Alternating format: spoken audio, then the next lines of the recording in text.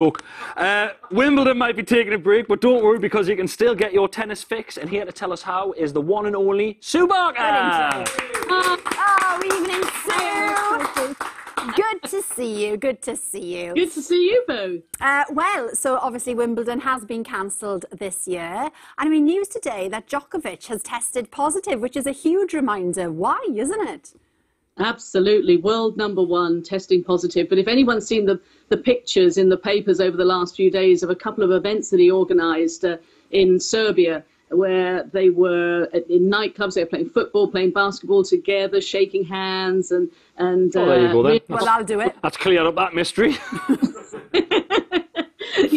yeah, and uh, it's no surprise that not only Novak, but uh, there's actually six uh, members of that uh, that tournament that have tested positive now for coronavirus, along with you know Grigor Dimitrov did and Borna Coric. And it does put, I suppose, in some ways, doubt about the U.S. Open when tennis wants to start again because.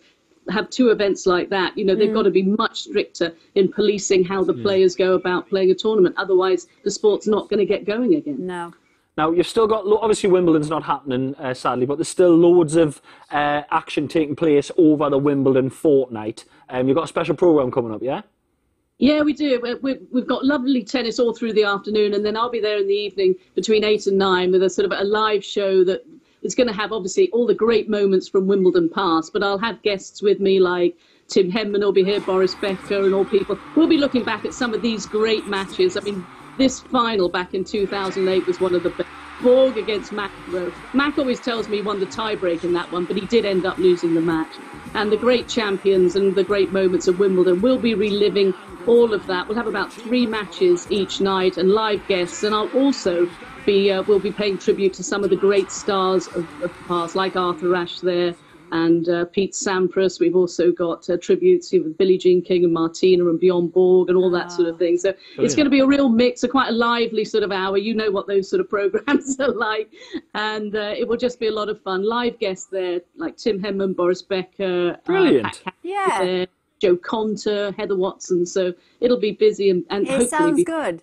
But I mean, and a tough call for you, Sue, because you do live and breathe Wimbledon. But what is the one moment that you always like to look back on? What was, you know, in the last few years, what was the moment for you? There's only one, 2013, Andy Murray picking up that trophy at the end of that match. I've never heard or seen an atmosphere like it. Uh, it just was incredible that a player comes just come back from the tournament that he had the year before, losing to Roger Federer, ending up in tears, feeling like he'd let the nation down, to come back the next year and beat Djokovic, who is so tough to beat, and beat him in straight sets, and to, to celebrate that. I'm not sure he celebrated that much. He was almost in a daze, but I was on centre court there. The atmosphere was amazing. I could hear all of them on the hill behind screaming. Yeah. And, and then seeing the whole country react. I think a moment- everybody can remember where they were on that Sunday where he won. It was brilliant. And we had um, him and his brother Jamie on the show on Friday. Now, So this is the thing. He may have won Wimbledon, but he's very bad at the wheelie bin challenge. because this is a challenge that's been online and stuff, and you've just got to try and get as many tennis balls into the wheelie bin from 25 feet away. And we stitched you on, up a bit, Sue. And we decided it might be fun if you gave it a go. And luckily, you agreed. so Andy scored zero. Zero. Wimbledon champion, zero. Yeah.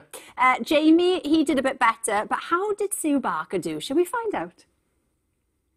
I've got my excuses though. This is not my racket, and I've got no tennis balls. These are my dog toys. Right, here we go. You ready, Charlie? You're the ball boy. Who's yours?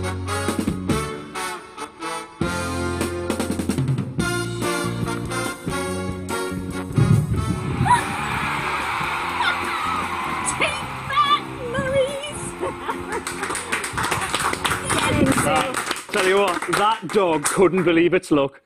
That dog was losing its mind. There was just tennis balls everywhere. Make your mind up, love. But I mean, dog toys and just six goes. You are, Well you are done. a clear winner. Very well done. I'll take that, Alex. No, my poor cock is back. Little battered. He was so exhausted, he slept for the rest of the evening. He absolutely loved that. Thank you very much for joining us. Thank Yeah, you, Sue. thank you, Sue. Uh, Wimbledon Rewind and Wimbledon, the best of the championships, will be on BBC Two from the 29th of June. Uh, Dr. Ranj joins us shortly with advice for parents